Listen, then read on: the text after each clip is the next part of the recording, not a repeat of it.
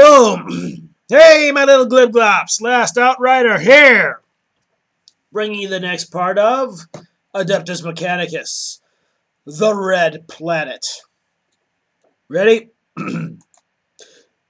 Mars is the cornerstone upon which the empire of the Adeptus Mechanicus was built. After a glorious age of technological advancement, Mars was cut off from Terra by warp storms. Under glowering skies, it forged on alone.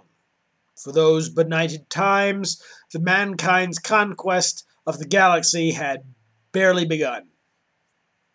Whilst the people of Terra devolved into barbarism, the settlers of Mars, a technologically warp-shipping brotherhood called the Mechanicum, continued to thrive, slowly terraforming the red planet to their desires.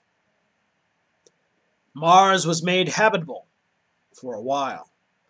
However, over the millennia, it too devolved into a polluted, arid wasteland as the Mechanicum covered its surface with unbridled industry.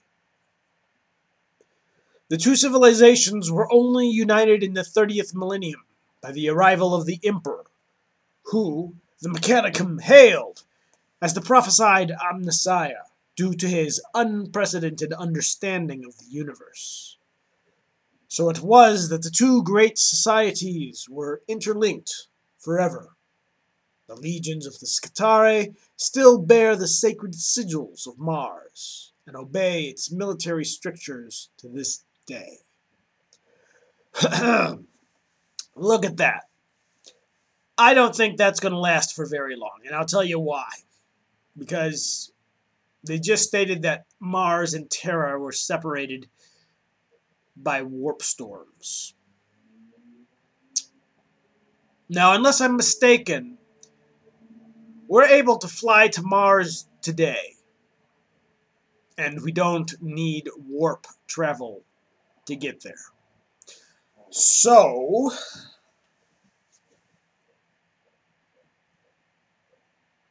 either way, here's what the story was originally. The only reason we didn't talk to Mars, or Terra didn't talk to Mars, was because the planet was so fractured into a thousand different petty warlords fighting with each other that there was no unified government of any way, of any sort. So nothing was ever built.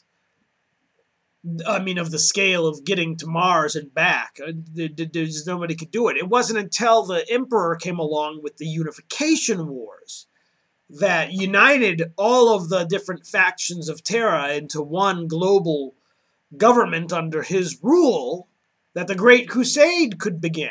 And it was then that Mars was the first stop of the Great Crusade.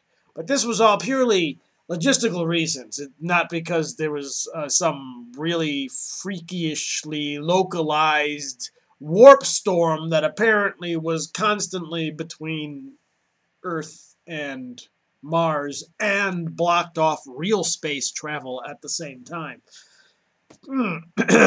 But it was also interesting to note that Mars has been fully terraformed. It was apparently an Earth like paradise.